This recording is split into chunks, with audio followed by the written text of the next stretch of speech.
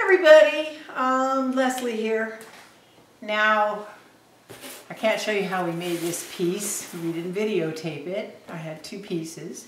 But this is another uh, piece where we painted the deli paper and then we glued it down with the gel medium and I am about to resin this. Now, I just want to show you, we still have scrap pieces of paper. Uh, there were we used all the teals, so, you know, colors like African jade, this is dominantly African jade. Colors like majestic blue. Uh, we ended up not using the Bolivian blue, but this is what that Bolivian blue looks on the deli paper, if that's your thing. Um, I'm, I'm in love with that color. I just got to find two more colors to kind of go with it to do a piece. Um, this wonderful, wonderful deep green is that it's a turquoise here is the mystic blue, but then there's a little bit of a peacock feather mixed with some Payne's gray. Sorry, I'm going a little bit faster, but if you mix like a tiny little freckle of Payne's gray, depends on how blue you want it, with a peacock feather, you can make really deep, rich teals. Again, here's more Bolivian blue, but we brushed some of the African jade over the top. This is mostly African jade, and sky blue. And then all the areas that were white, which weren't that many, but you can see in the reflection here what might have been white. We took uh, um, Interference Blue Mica, Blue Pearl on our website, mixed it with just the clear Vivid. We have a little pot of it here. And we just kind of brushed it over wherever the paper was dry. So when it's under the resin, it's going to have color. Um, here's a few more strips. Here's some of that Mystic Blue. Love that color. Absolutely love that color. And that peacock feather mixed with the pain, African jade. And this pretty, pretty light blue here is Stargazer, just so you know you've got variations. Okay, so we kind of did the same process. My girlfriend and I worked on these two pieces yesterday. It was so much fun. And by the way, pure collaboration. Now, she did this little piece and she base coated her little edges. I think this is a little six by six with African jade. She took bits of paper, paper and kind of, she had mounds of them on top of one another actually, and then eventually glued them down and kind of scrunched the paper because she was, she really loves the texture. And what was cool is when the whole thing was done, because she only did the teals, she took some French lilac one of our uh, primary elements and just took some with her finger and kind of rubbed it all over here. And the one of the benefits of our product being water soluble and resin is insoluble is doing this kind of treatment, last minute treatment on something before you're going to resin. It's not going to move because the resin's not going to move it because it's insoluble with this stuff. So these accents are going to stay where she put them. Then we decided to do a big piece. And this big piece, I know again, you won't see the video of it, sorry, but you will see the end result once it's resined. So I base coated the whole thing with uh, like a dark Bolivian blue and some of that peacock feather green and just kind of mishmashed them all over one another. You can see variations of the blue and the green in the side of the canvas here where it got painted. And this, that just makes it so no matter where someone turns the canvas, they're going to see it. But one thing I want you to see is now it's completely dried. See this little bit of paper that is clung over from us gluing it down? Before I resin, I'm going to clean this up. This is one thing we didn't cover in the red and blue video. All four corners have it, as does uh, Heather's little piece here. She has a little area, and she wants wanted me to touch up the African Jade Vivid anyway, right here. Yeah, she's got a little bit of her paper that kind of went over. So I'm going to take, I have an X-Acto knife. I also have a little tiny knife that I got in the dollar department in my grocery store. I'm not going to make you watch me do it, but I'm just going to very carefully peel back this paper, trim it off. Then I'm going to repaint the edges of this one and resin it. Same thing, I'll clean up the edges, but I want you to see if you can see the patterns in here. For example, there's actually three squares on top of one in here, here, but then there's another one in reverse. Now, again, it's hard to see what this is gonna look under the resin, but all of that texture, you see all this texture? That's all gonna be picked up by the light. The one thing we did make sure we did is every part of this thing is glued down. We uh, really work, and I've never actually done a piece with someone else where we both physically collaborated. So while I was base coating this, she was working on her little piece. Then we got together and cut up the papers and she's more of a linear artist, really good with lines. You know, I'm the colorist obviously because I actually mix the colors for the ColourArte line. I'm the, the colorist, the mad scientist that makes it. So the color for me was kind of my thing. Um, hard to say. Now all these areas that look like that's green, because of the camera, it's picking up green, but these are turquoise, okay? So it will pop probably much prettier turquoise under the resin. But one thing I have to say, and I don't know how you guys feel about this, but to truly sit down and have her say, well, what do you think of this? And I, and I move it, well, what do you think of that? Oh, I like that, okay. She kind of laid the whole thing out like she did on her little one, piles of paper, but she said, you know, this one section is very important to me. I know I love this area here. Something that she loved right around here. And for me, if you can concede and say, you know, I see what you're saying. Open up your mind and look at that other person's viewpoint. I say, you know, I see what you're saying. Let's glue this section down before we do anything else because as soon as we change our mind and move the papers around, they may not look the same. So it was it was a very interesting exercise working together. Um, I am going to touch this up in resin it. I will show you guys the quick resin process and I will show you the results afterwards. Um, sorry I can't show the process how we glued this down, but um, as you look through this and really stare, you see a sheet this way, a sheet this way, but something's covering it up this way and something's covering it up this way. So it's, it's just a pleasing pattern so your eye would keep moving around as you're looking at it. And of course, it's going to be hard to tell just how sparkly this is going to be until you actually see it under resin. And then we did the same thing as hers, where she highlighted some areas violet. Anywhere where we had white spots left on the paper, we just kind of hand rubbed the pigments, little bits here and there. So there's just a little pop of violet through this. See you guys in a bit. Bye. Okay, well I got my resin mixed. I got my sides um, painted and touched up. Actually, I recommend removing the deli paper that runs over the sides first. I tried to cut away with a straight edge. It did not work. I ended up having to paint over the top of the deli paper, making sure that my piece is level. My little doohickey here in the middle is saying, hey, it's level. Fortunately, this is also my paint table, so I'm going to give up my table here for the next few hours because I don't want to move this to the actual resin drying chamber, which is almost as level, until this has had a chance to at least set up. Um, this is a 16 by 20 deep edge canvas, so I'm actually going to do two layers. And according to Art Resin, they recommend that exactly three hours you could apply a second layer. Now, as I said in the last video, I don't know if it's within the three hours or if it's exactly three hours. But you know, set a timer and right around three hours or two hours and 45 minutes. Sorry, I see a little edge here. I still probably need to stick down before I resin. I have to touch this up.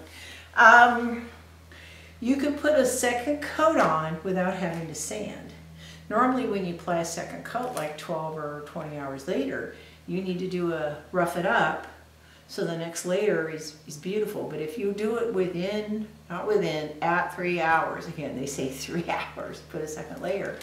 It's like you put um, that much resin on at the exact same time, but you know, it's not gonna floor the sides at that if you do it in two sections. Anyway, um, we've got it ready. I mixed up a lot, probably more than I needed, but I know I have the second little piece I want to attend to, but we're going to do this first. And what I do is I pour the resin dead center in the canvas. Pour about half of it. Well, you can already see how metallic that's starting to look underneath that resin. Before you move it around, torch it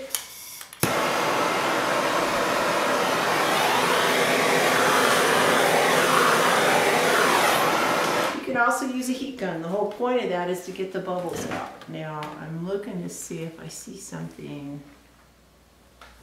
Looks like something's in there. Before you even start moving it around, inspect your resin. Is there something in there? Is there a little hair? There shouldn't be. I mean, my canvas is clean. I'm going to torch it one more time.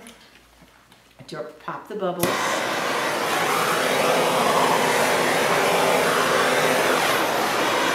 Check it at all angles. You're still going to heat it again after you move it around. Now, I like to spread it with a comb or a pick. The reason why is you're not trying to pull all the resin over to one way and all the resin back the other way. This is a canvas which is not necessarily designed for resin uh, because canvases can sag if they have too much weight on them but a, a thin, beautiful layer is fine until you're at the point to where you want to invest in cradle wood. That's a wooden canvas or you make your own. I have a friend who makes her own right in the middle of her living room apartment. Crazy. She wanted to learn how to do it. She taught herself how to do it. Pretty talented, that lady. It's my girlfriend Heather. Very talented. Anyway, so canvases are uh, a less expensive alternative to try. But just remember that too much resin could make it sag because resin dries very hard and stiff and a canvas is pliable. Um, versus wood is a hard surface so therefore it's going to have the same drying film, or not film strength, but basically same um, drying surface as the resin needs because the resin dries stiff, you want a hard surface. Now if you really want to start spending money on doing more and more canvases, there is an artist by the name of Elan Vital, E-L-A-N-V-I-T-A-L. He uses airplane clear coat. Now they have clear coat for the automotive industry. I don't think it's the same. My understanding, Sherman Williams sells this. I've not tried to buy it yet, but I did look online and saw something similar to what they were talking about. Now the reason why I'm mentioning clear coat, by the way, I got new gloves. I've got my long sleeve shirt underneath my Playtex living gloves. We can reuse these because the resin comes right off. The last couple of resinings, I happen to get a little bit on my arms, and even though this stuff is technically non-toxic, you do not want it to stay on your skin for any period of time. And that's art resins instructions. I'm conveying with you what I learned from them. So anyway, the, air, the uh, clear coat that they use on airplane wings is flexible. It flexes. You know, think of it. Airplane wings have to flex in and out. If you watch what I'm doing, I'm just kind of using the side of this, this pick if I want to pull a little bit more resin over. But if I want to comb it back, I could comb it with the pick style, which means it's only spreading half of it. So it looks like I'm going to have to use the other half of what I mixed, which is fine. Pour that back in the center because I'm seeing it make it most of the way around, but it's not going to go over the edges nicely.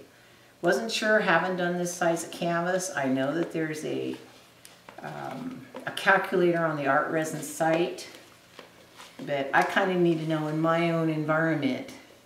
This is a 32 ounce cup and I mixed 10 ounces of each, the hardener and the actual resin in there. By the way, somebody asked me about this big tone depressor. This is a craft stick from Walmart. They have them in the big size. They're perfect for mixing resin. And I get my containers, like this 32 ounce, from the restaurant supply. They come with lids, so you could store stuff. Okay, I'm going to torch this again just because there's potential bubbles and when I just uh,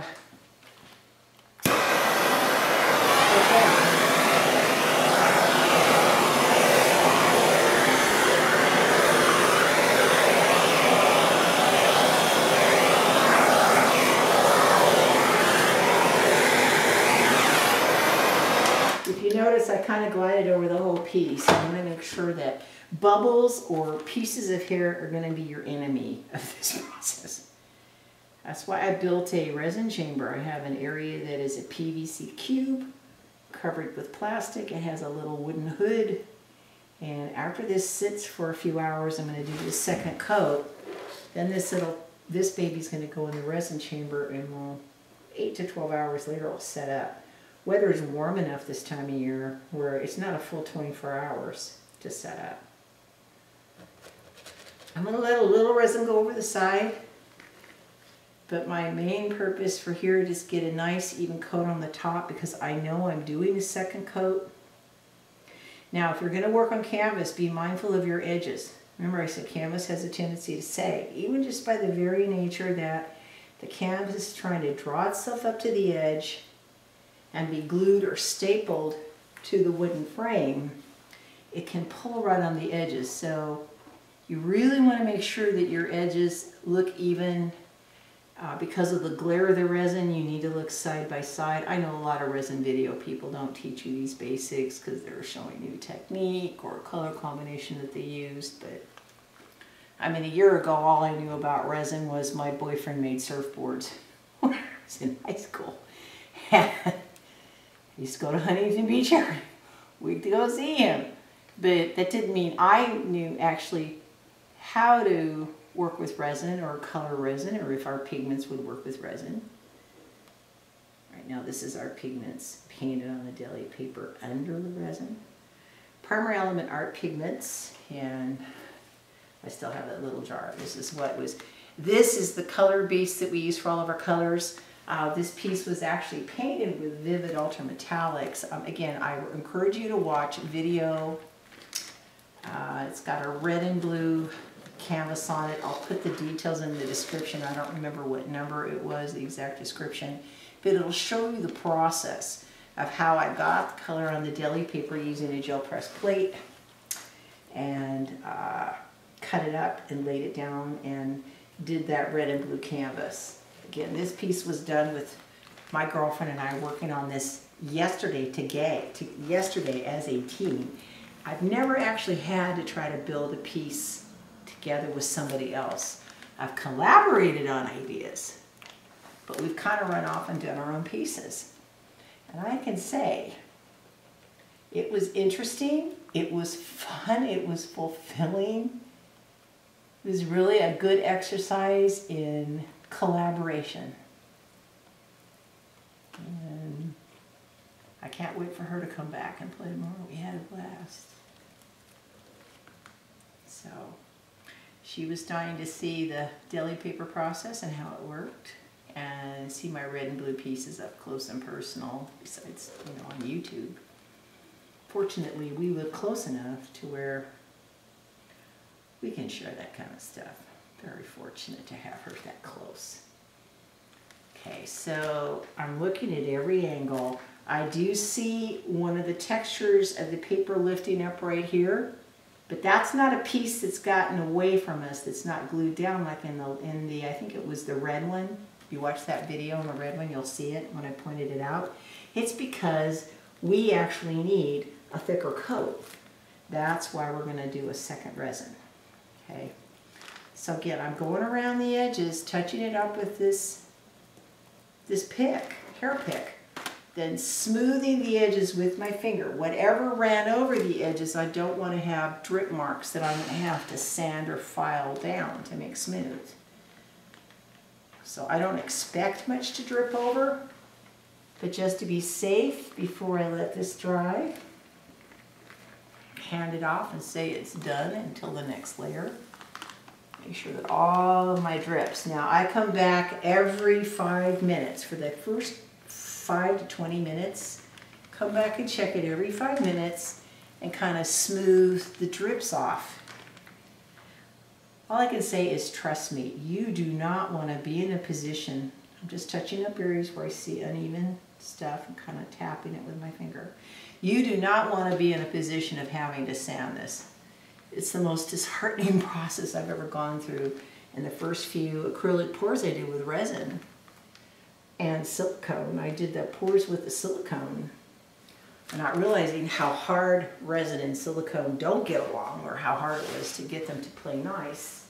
And now that I know how to do my acrylic varnish barrier, by the way, that's another video if you want to check it out. Putting an acrylic varnish barrier between the resin will protect it from the pitting, but uh, still, if I could have watched a video like this before I went through the whole disheartening process of making these beautiful pieces of art and then only to have them resined and have to be sanded twice and re-resined twice. Ikes to get them finished. So hold on, I'm going to torch this.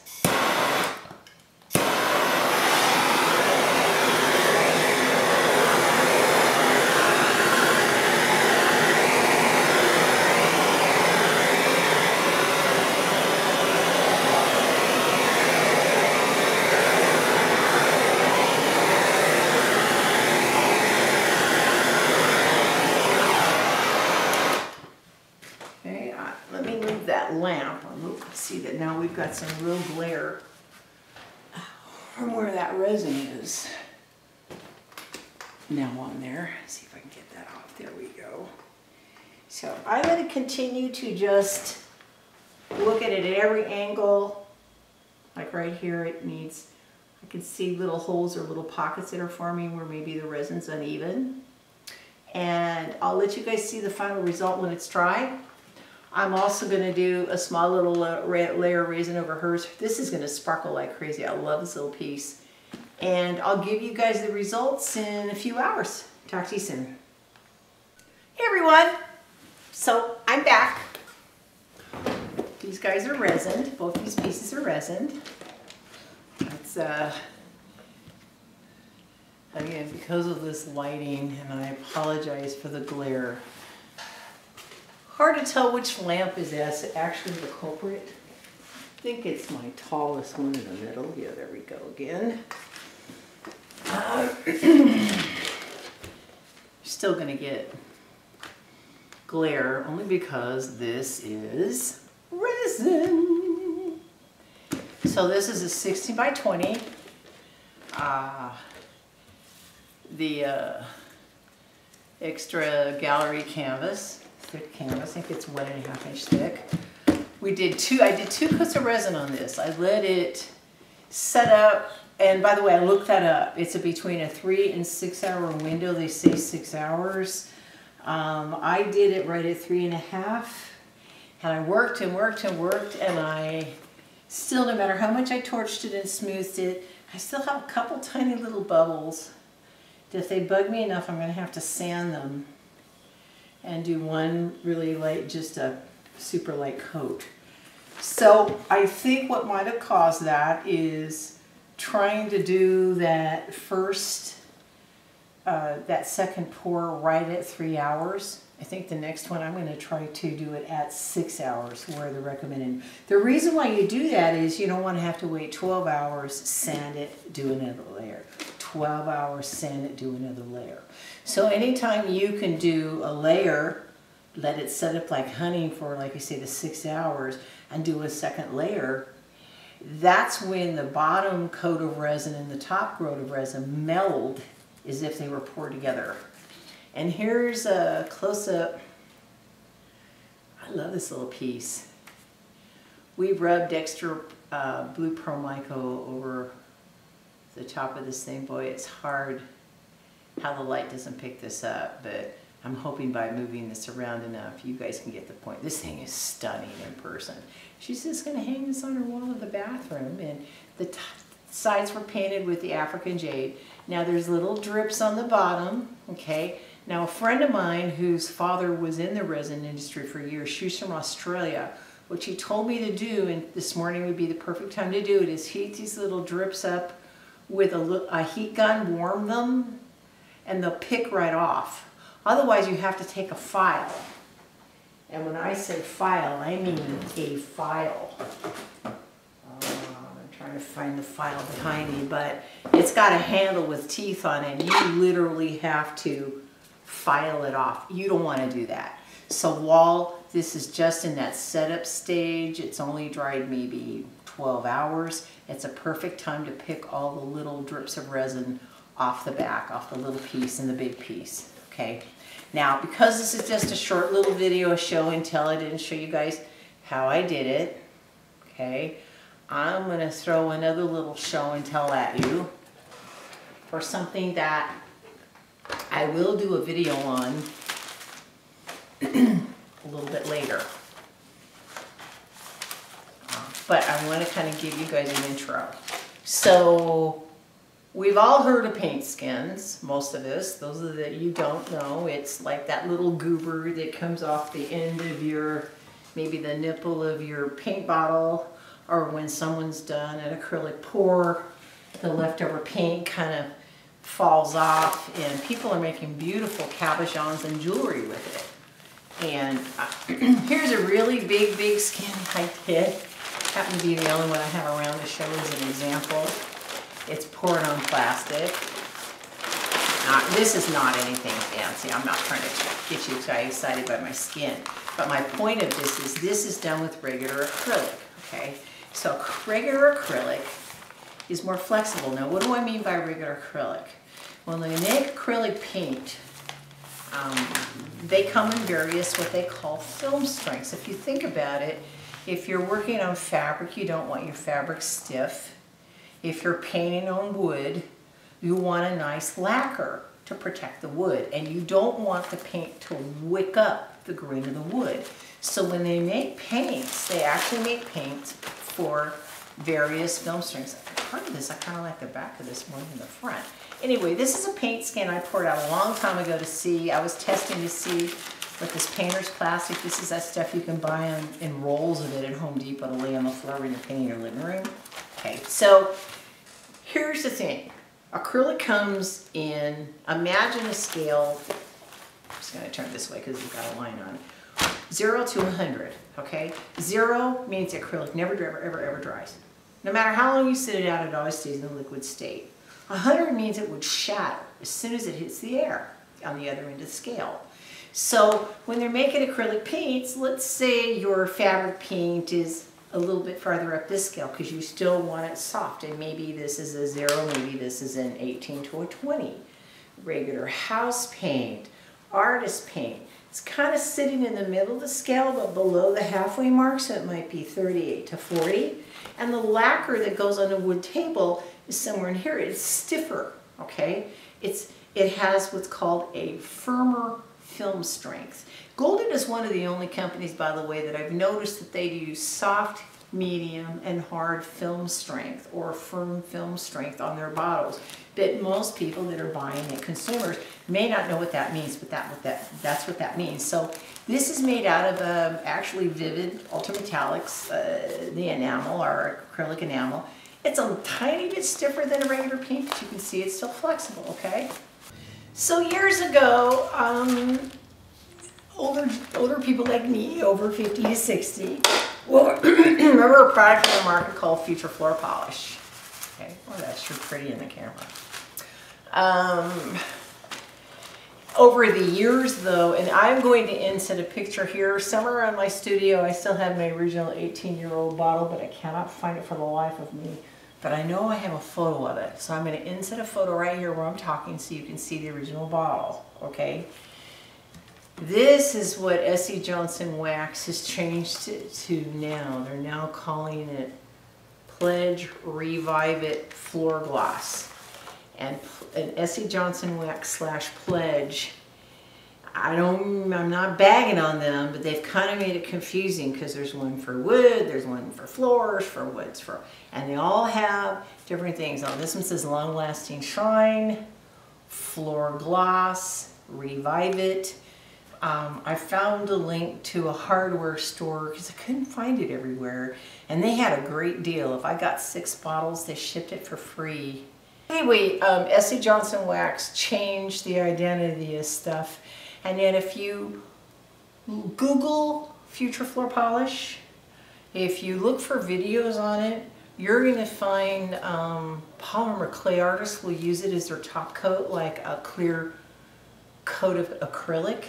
Toy train modelists and hobby modelists, they'll actually dip their body parts, auto body parts in this to get it a clear coat, like clear coating a, a car.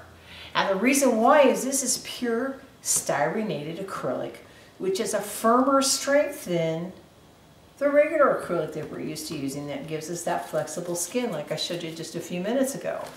What it does is it actually makes the skins crispy. They come out in chunks. They look like brittle pieces of metal, which you've got to be very careful to peel apart. Okay. Uh, I have them in a strawberry box. This is not the best container to put them in. Um, I've put them in sealed tubs like these. I was showing you these because you can get different shapes, okay?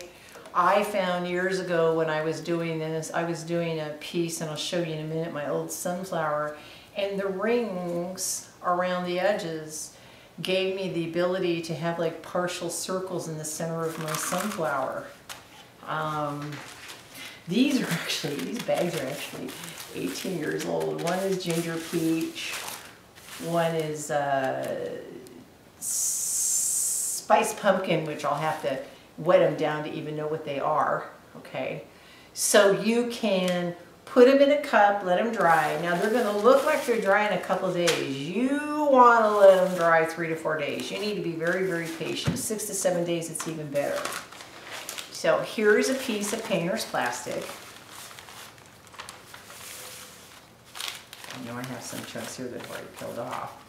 And I left it in the state so you could see what happens. Now, you don't have to make biggest batches of this. You could have a little piece, put it in the bottom of the box, just make sure it's coated with a plastic or rubber, something like this, so it pulls off. And I puddle a little bit of the Revive, okay, and Primary Element Artist Pigments. Yeah, you could do this regular mica powder, but the other effects I'm about to show you in a few minutes you won't get from regular mica powder. Because primary elements are actually a dry paint that has mica in it. It's an art pigment. We also have a line of pure micas. They're called primary element pure micas. Those are just pure mica that don't have any additional color added. So to repeat this process, and make these absolutely glorious, beautiful flakes, you actually need to use the primary elements to do this. Now these components can be used in submerged in uh, as a focal piece on your painting. Uh, I showed this to Marie Fondler Grossman fondly. We more fondly call her a Bissimo. She really thought this would be a great component for her textile artists to be able to add textural components to their pieces. But once it's dry, very carefully, I don't know if I can do this with my gloves. My gloves are not as nimble as my fingers. Carefully peel it off. You will get big pieces, you will get little pieces. Okay, off the gloves. See if I can do it with just my finger. Trying to do it on camera in front of you in real time is not as easy as me sitting screwing around with this on my own. Okay, so I'm pushing the plastic up from the bottom and the flakes are peeling off and I can get larger and larger pieces. Look at this one, more carefully that I go. And then you just want to find some place to store these in to use them later, okay? Now, just so you know, I'm using them in real time. I have a canvas here, a little bitty canvas here that I've already done a partial metallic swipe over oof, months ago. This was done on a video when I was showing you guys how to just do background swipes. So I'm just going to grab some of the blue pieces. You can literally see the ones that I peeled off. We're going to wrap this guy up. Like going, okay, well, How's that going to work on a regular canvas? Okay, let me do, I'm to do this very carefully. Because I am not going to lose this precious stuff. I got to say, I, I was impatient and impatient. I was worried if this was going to work the same way as the future. And about a week later, boy, did I get rewarded with all kinds of really pretty metallic components. And so I made lots of different colors to play with. I'm going to grab some of the violet. We're just going to do something really simple. Not a real long video. I just want you to understand the technique, the process. Maybe, now they're sticking, probably because they've been in this box for a little bit longer than they should have been. I have, wasn't moving them around and I put them in here just as I peeled them off so they could still be a little bit tacky. Okay, be patient. The more patient you are, the more uh, bigger pieces you're gonna get. I'm not sure what this is. This looks like a piece of a regular original skin that snuck its way in there. Oh, come on. Because we're on camera, it's making it hard on me. I did not pour it in here. I transferred them in here. This may not be the absolute best plastic to store them in. I'm normally storing them in these kind of things or regular plastic baggies, but anyway, we got enough of the purple components loose to give an idea. Again, these were temporary. Just as I peeled them off, I wanted some box that still had holes in the side that they could breathe, but I hate that they can also shake out of here. So these are, gonna, like I said, temporary, temporary. This is a different blue than the first blue. This is a little bit more of a, a teal. We'll find out. And you've got a front side and you got the back side. The bottom side the mica, mica drops to, so you might that, find that more interesting. But when you have a flip side, a light and a dark side, of course it's going to add uh, variation to your work. And just for grins and giggles, Guess we're gonna find out. I know one of these is spice pumpkin and one of these is ginger peach, which is that brilliant orange. Now, this old bag, they're, like I said, I made these years ago on, believe it or not, I rolled them out on um, the plastic bags you get from the grocery store.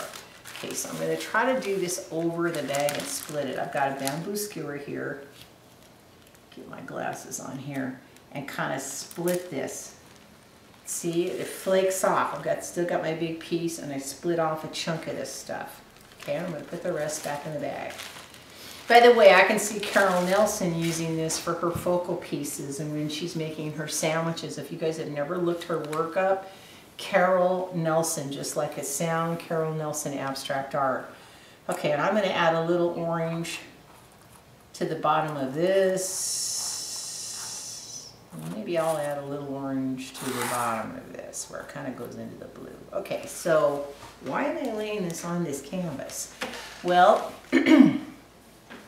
years ago I did two pieces and one was a sunflower. Now I was duplicating a uh, rubber stamp image that I had seen. Um, had a the center of the sunflower and the leaves shooting off to the right. I can't remember the name of the artist. Sandy Miller, I think was the name of the stamp. So years ago, okay, now everybody don't laugh at me. 18 years ago, I did this piece. Now in hindsight, I might have actually painted this black knowing how colors pop. And there is a little dent in here. I'm gonna have to patch this thing in and fix it. But the entire center, I painted it with yellow. And then if you look closely,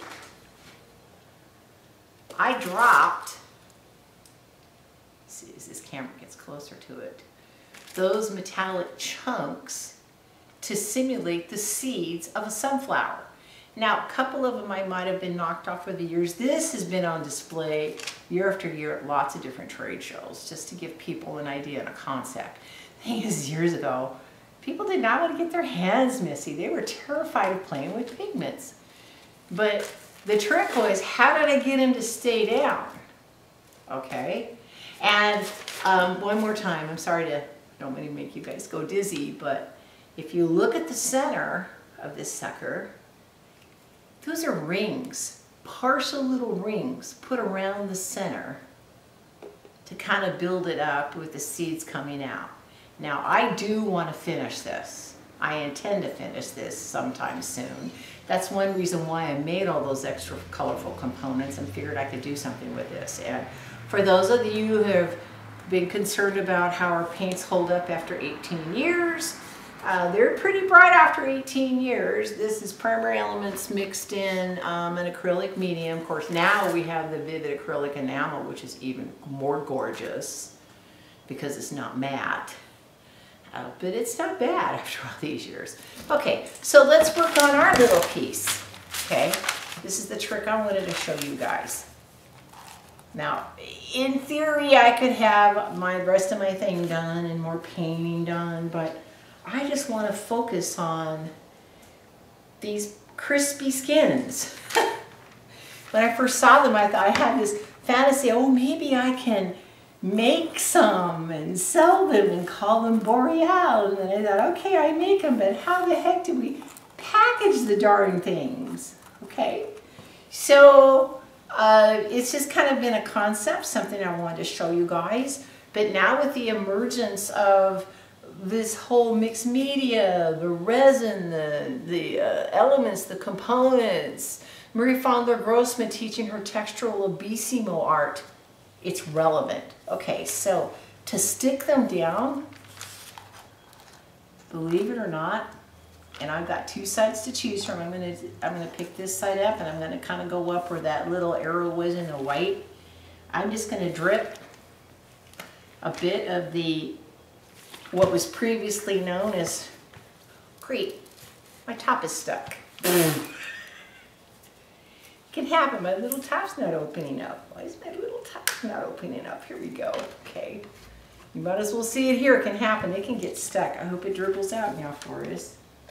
There we go. So, believe it or not, this stuff will actually lock it down. And guess what? Because it was made with the future, you're going to get colors bleeding into each other similar to alcohol inks. Oh yeah, this is the turquoise one.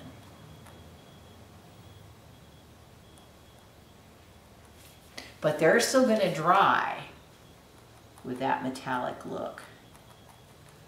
I have no idea what I'm doing here. This wasn't pre-planned. I don't have a finished piece to show you other than the big sunflower. Okay, I'm to do this purple one over here. I think this is a red violet one. I even did coral berry. I have some coral berry, some ginger peach. Lots of different colors. So this is the violet one. It's going to bleed the colors that you did make them with. Okay. But they're still going to dry with a component. Now you don't have to do this. If you put them directly in resin, you know the colors aren't going to move. But if you put them in the Revive, because they were made with Revive, the colors are going to move. I'm kind of like it wasn't my point. I didn't want this to all be running. Um, in uh, another abstract piece that I did, I actually had the whole background painted with primary element pigments and other colors in paint. I wasn't working on white canvas. Um, but I wanted you to get the idea, okay, this is such a big piece. I'm going to make sure the Revive is actually underneath it so it sticks appropriately. It's split, that's okay. I'm just going to kind of let it go. I'm going to let it do its thing.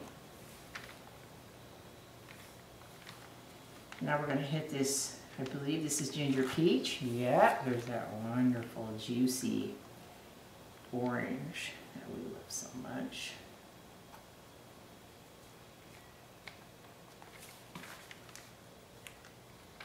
I hope this stimulates your imagination, which is kind of the whole point of this exercise.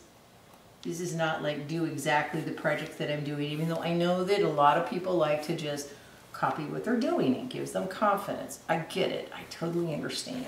Okay. But I also want to stimulate you guys' imagination. Make you think, wow, what if I did that under resin? Or what if I did a Carolyn a Carol Nelson piece and she makes sandwiches out of different components and then she makes a focal little thing on the top. These could be part of a metallic focal piece on top. Now I'm going to just try just for grins and giggles to see. I'm going to push this down. I'm trying when I'm pushing it down, I'm trying to actually milk a little bit of the color out of the crispy chip because I want to see what happens if some of that color goes back up in to the gold. There we go, let's antique that gold a little bit. It's awfully gold the way it is. Doesn't need to be quite that gold. I can put it sideways here so you guys can see it. I can come out a little bit. This is puddling because it's wet, okay?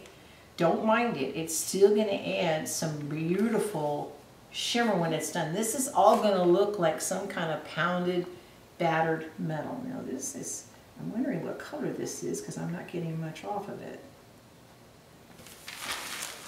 Okay. I think this is spice pumpkin. Not sure. I'm just going to throw some in here just to see what we get because I think that was ginger peach. Spiced pumpkin's a little bit redder. Or I could be wrong. I've been known to be wrong before.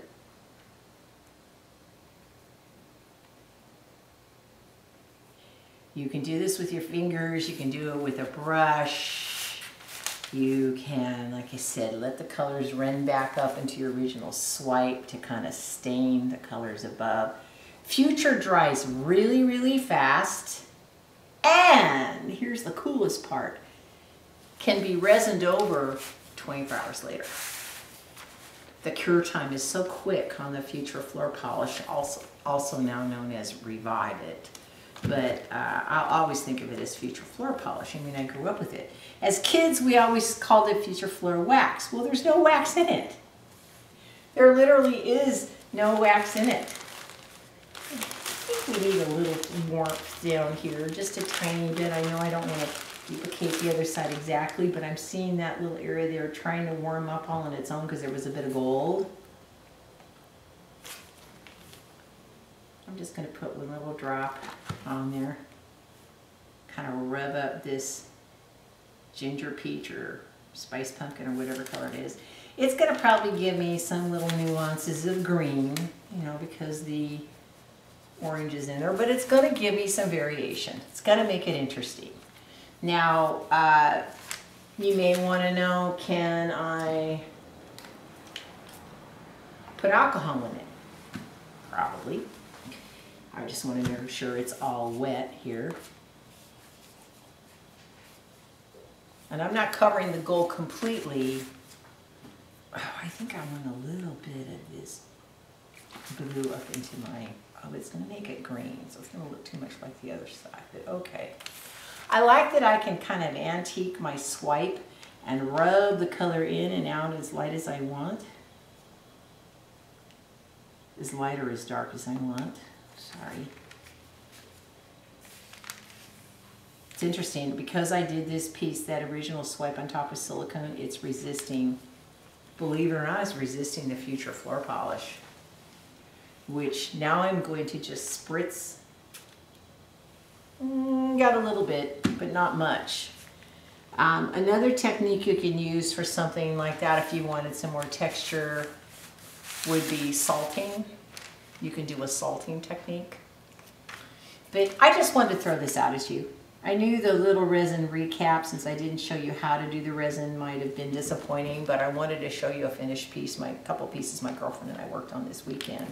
I'm not real thrilled about what this did. I don't know what that's supposed to do. So I'm wiping that strange little pink piece off and running down the orange a little bit more.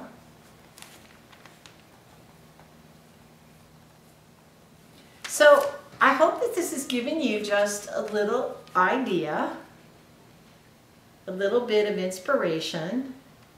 Another thing I can do with my primary elements,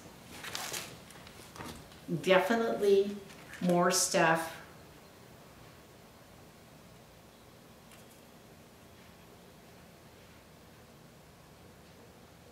definitely more stuff that I can do with my primary elements art pigments than I thought of. Okay, thank you for joining me. Hope you guys have a great, great Monday. Thanks, bye-bye.